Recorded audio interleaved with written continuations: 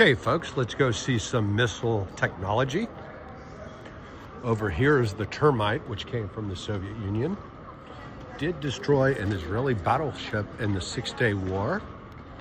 We also have some of the old Pegasus and Matadors and U.S. Air Force cruise missiles.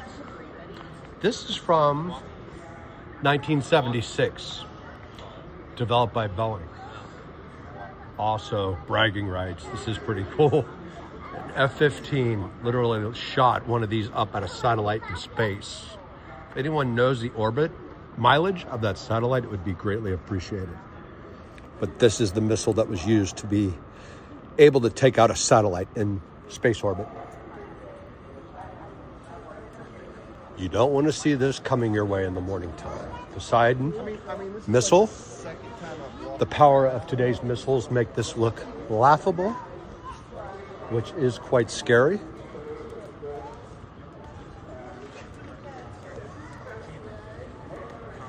This is a concept Falcon missile. And then you can see with missiles also came space missions. Some of the technologies that were used, including a Nike missile over there. These were commonly put around cities for civil defense, self-defense against the then Soviet Union or anybody else. There's a PAC-2 missile. And then you're going to look at some of the engines here. These are fascinating because some of these powered both missiles and space missions, both civilian and military purpose. The amount of horsepower makes your pickup truck look like nada.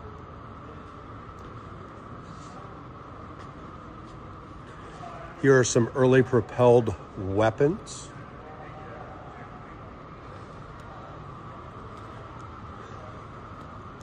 I believe that's a Nike missile as well there.